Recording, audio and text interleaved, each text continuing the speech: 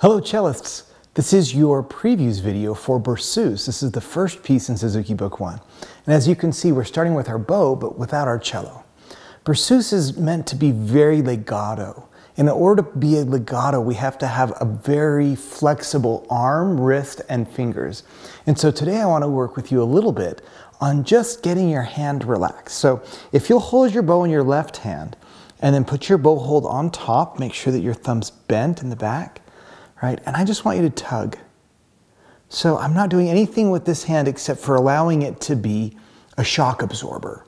Take your other hand and tug, and you can see how this knuckle, this knuckle, my thumb, all of them are just a little bit flexible.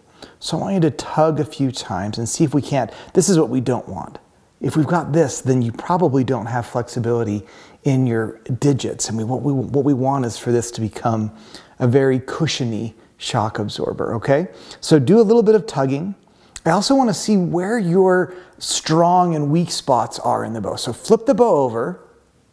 So now we have the hair up and we're holding it kind of awkwardly, I understand, but you can hold it this way, it's fine. Put your finger out as though it's the string, and I want you to just bow on top of your finger. Bow on top of your finger and see are you really maybe light here in the middle? Or are you strong here and light at the tip? What we want is a consistent pressure through the whole bow stroke. That's what's going to give us that legato sound. Instead of having sort of a soft spot and then a heavy spot and a soft spot again, as you go through this natural bow stroke, um, you should be able to keep a consistent weight. And I actually have a whole series on natural bow stroke, on holding the bow properly. Um, if you're collapsed here, you're probably going to have a harder time. Um, so go back and review those technique videos. But Berceuse demands that we have uh, very flexible fingers and, um, and shock absorbing hand. Other than that, the new idea here is harmonics. And we first start with this harmonic on the D string. So if you were to just touch in the exact middle of your D string, don't push it all the way down. I hope that you can see that. I'm just, just touching it. What we're doing is we're interrupting the fundamental waveform and we're allowing the first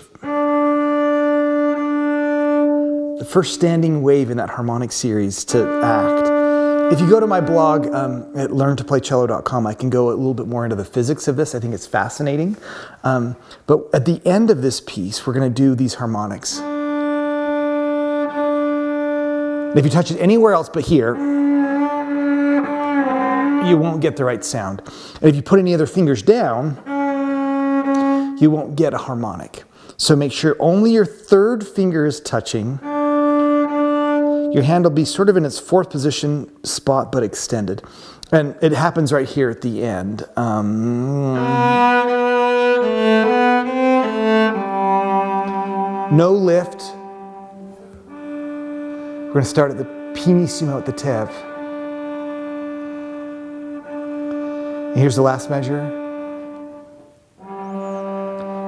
So it's the same thing we just did here three times, only on the G string. You have harmonics on all of your strings. That's your previews video for Berceuse.